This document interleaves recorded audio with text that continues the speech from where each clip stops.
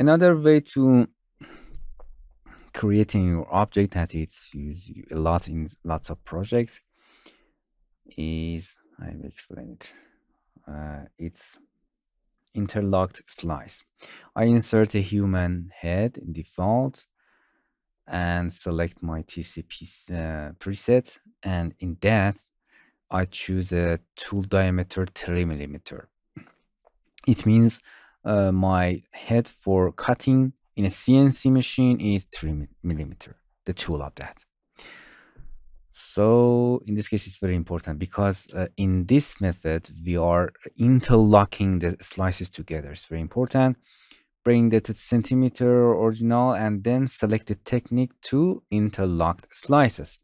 This is interlocked slices. You can create an interesting artwork with this method.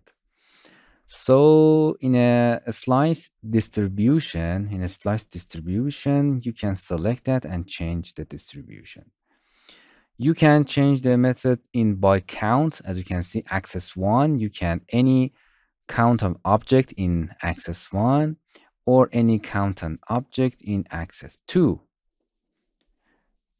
And or you can select it custom. Custom means it's that so you can select it, simply click and drag the slices the word that you want. And as you can see, it updated automatically. And we interlock or connect all of these uh, slices together to create an object that I explain it. In some cases, as you can see, if you I bring it there, oh, as you can see, it's bring the error. It means the software cannot connect them very well. As you can see, this part maintain disconnected. And just you have to select that simply little click and drag to change the uh, change the position of the some of the pieces to um, correct that issues. Very simple. For example this. So it's a custom. Notch factor is very important. As you can see for example we want to uh, you can see there for better understanding, uh, go to assembly step.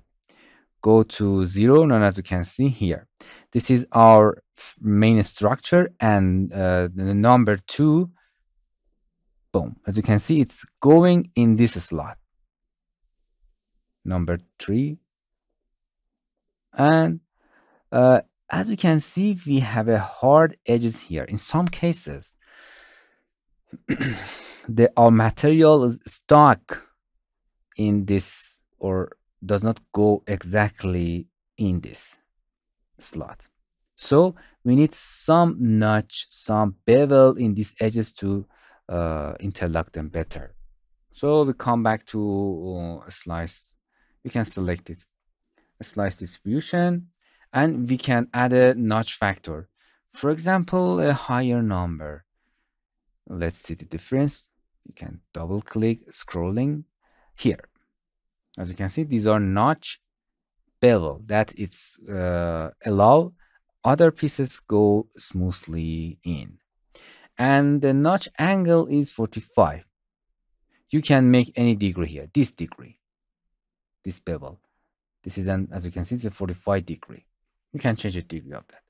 Relief type, it's uh, here. For example, we have a CNC laser. As you can see, laser is very thin beam and it can simply handle these corners. But if our tool is not laser and it is a CNC machine, it has a diameter. For example, three millimeter diameter as it comes here and it does not, and it cannot create, because it's a round tool, it cannot create these hard edges or hard corners. So we specify relief type and it causes a problem. It gives in something like this and the uh, pieces does not go exactly to each other. So we create, for example, a dog bone.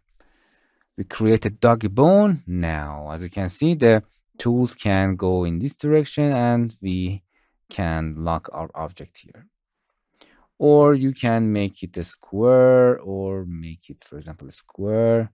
It's by default it does not work correctly horizontally. It's separate the dog bone more or vertically. Double click. I think it's better. We have a room to interlock our uh, pieces together better. So it's depend on your CNC machine tools so this is an, a slice distribution like other method you can change the uh, slice direction. Nice. You can select this. Or sorry uh, for distribution if you select any of these we have some tools here. You can duplicate it or you can delete it or if you duplicate it here you can in eventually distribute all of these slices in the axis that you want. Yeah eventually distribute. So i forgot to tell you. A direction of that here is very simple like that. You can as you can see change the direction. Here is the another uh, axis that you can change that all of the direction that you want. Interesting then select it again. Select select click on a uh, surface mm, in the screen that you can activate it again. For example if you choose this axis it's only rotating this direction. Also you can rotate in this direction of that axis. Or you can reset it. Interesting. So you can select then rotate it in this direction also in this direction then select a screen then select this then this select it. In this direction also in this direction. Interesting. So you can freely um, rotate your axis to create an interesting artwork and in some cases it's bring, um, bring the issues. It means i cannot uh, lock them correctly or cut them. Please change the axis change the number of them to correct that issues. It's very simple. You can see the issues here. As you can see it's very bad. It's not correct for creating our work. it's suddenly uh, simply disconnect and break this part you can break that part as you can see it's, oh, it's very thin. Uh, the software tells you okay these works are not co work correctly for you. Please make more room for creating your pieces and you can without any problem use them uh, here I, I can explain modify form now for this part it's nice uh, I give a by distance. You can select by distance. It's very nice. You can select the distance between. Uh, for some cases, you need you need uh, you want to know exactly distance between these these parts. For example, if you want to create a uh, book and you want to put your book on this your artwork, you can. If you want to know, for example, I want to access number one five centimeter, for example, you know the distance between these two parts is five centimeter. So by distance, or you can by distance by count. Simple. Uh, modify form. You can uh, expand or compress your model in this software, but I don't uh, suggest you here, but you can shrink wrapping your model in any number that you can select it here. Shrink it wrap. It create more puffy, more uh,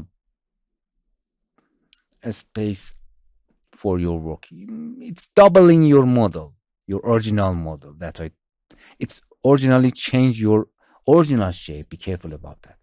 You can hollow it if you want empty space in it but i don't suggest you. If you want to hollow model please make it in your 3d model. And then you can apply it if you want. Uh, for example if you want hollow object uh, you can create it in your 3d software. Very simple. Nice. Don't use it very much. You can reset it. You can redo your works. And as you can see it's make your object more Uh, bulky as you can see, this is a, the purpose of shrink wrap, or you can thicken that. It's a modify form and assemble, and then you can get pl uh, pl uh, plans. And export it to the DXF and bring it to your CNC machine or to the laser machine. So this is the second method for construction technique. Hello my friends, to continue these tutorials on YouTube, subscribe us, like us, and hit the bell icon. And now you will be alerted about all of the amazing videos that we release.